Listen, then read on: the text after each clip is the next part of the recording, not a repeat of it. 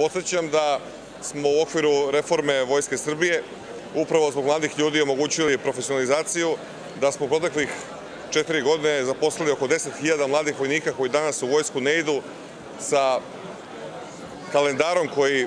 šaraju svakoga dana, već idu u vojsku tako što primaju platu, na kraju meseca izdržavaju svoje porodice i to je svakako jedna od najvećih društvenih reforma koja se tiče mladih ljudi koji danas imaju izbor da li žele da služe vojsku ili ne.